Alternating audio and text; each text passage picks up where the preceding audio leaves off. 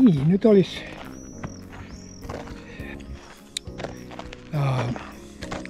keskiviikko, olikohan nyt 26. päivä. Tuota, on taas videon aika. Täällä vähän tuota ajelun näillä traktoriillakin täällä. Markilla.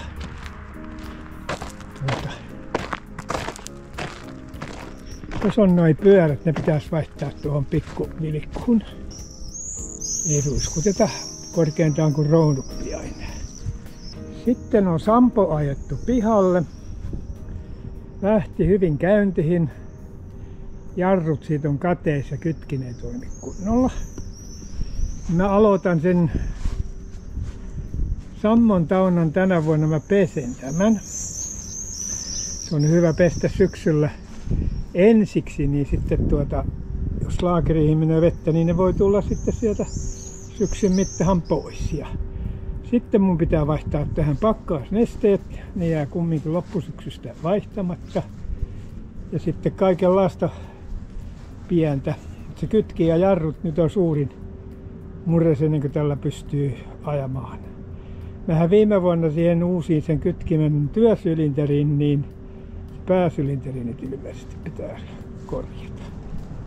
Sitten viime videolla yksi kommentoija kysyi, että minkä takia meillä on traktorit ääs pihalla. No, meidän traktorit nyt on kesällä pihalla aika paljon. On ulkokäyttöön suunniteltu, mutta tämä ääs oli nyt sitten tuolla pihalla sattumoisin aika kauan taas, kun tuota, tuo puimuri oli tässä ja se piti saada ensiksi liikenteeseen. Ja sitten se kylvinkonekin oli tuossa vähän väärässä paikassa, että ne on nyt tuossa niin kuin loppusijoituspaikassa. Että tuota, tämä kylvinkone todennäköisesti otetaan tästä sitten joskus talven kevään mittahan tuonne toiseen kohtaan. Sitä pitäisi vähän repata ennen, ennen kylvöaikaa. No, sitten tämä peittausruuvi ja tämä pikkukärry tuli tähän ja no nämä rautakärryt tuli tähän ja velsat vein pois.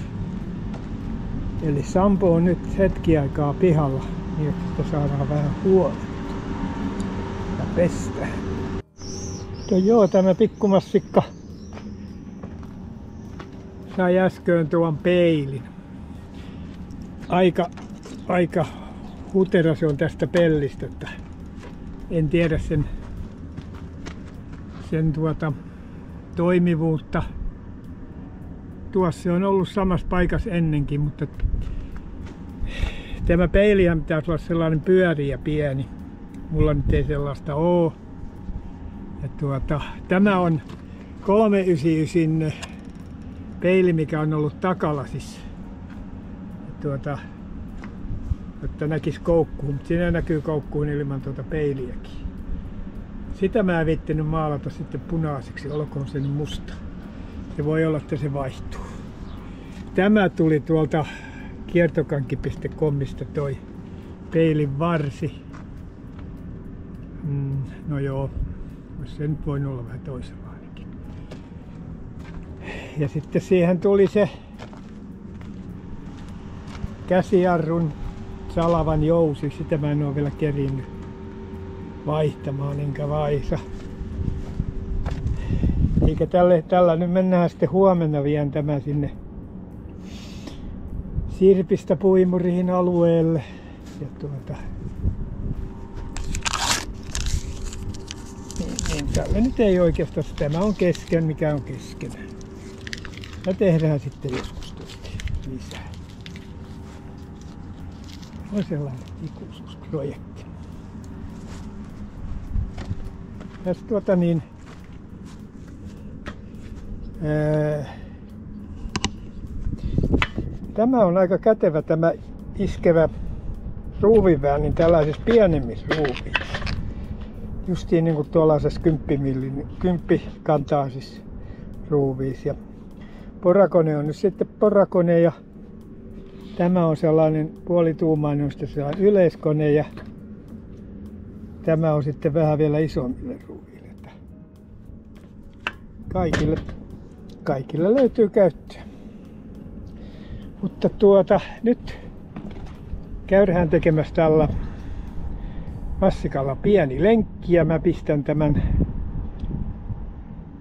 Hero 11 sen tuohon lokasuojalle, että katsotaan miltä, mitä se tekee. Oli se Hero Vitonen silloin viime reissussa, niin kokeillaan tätä 11.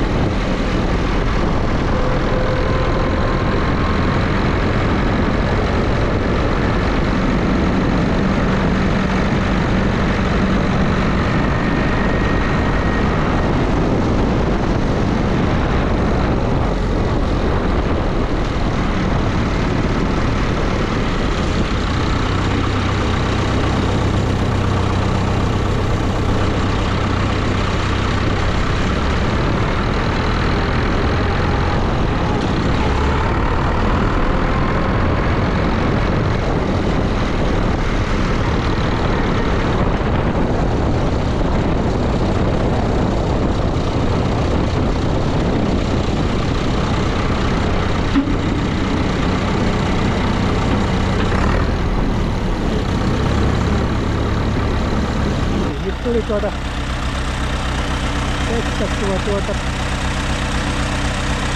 peiliä. Tuli tuo tuota kameraa. Tuota kameran nelinettä. Kyllä se vähän väpättää tuo peili, mutta kyllä siitä näkee.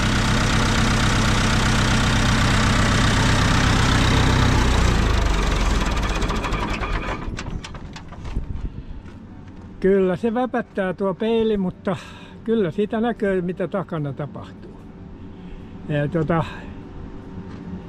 nyt sitten kun tuo täytti 50 ja mitä enemmän 50 ylitte menee, niin sitä enemmän tuntuu, että niska jäykistyy. Ja on kyllä tosi vaikea katsella niin kuin taaksepäin, kun ajaa raktorilla.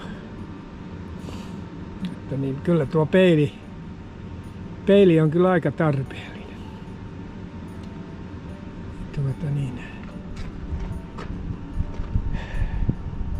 Semmonen tapaus. Eipä sitten tällä kertaa muuta. Tämä oli tällainen pieni päivitys kautta testivideo. Testasin vähän tätä Hero 11, että kuinka se menee tuossa lokasuojalla. Ja sitten vähän tuota peiliä, että näköykö siitä mitään. Se on sitten moro.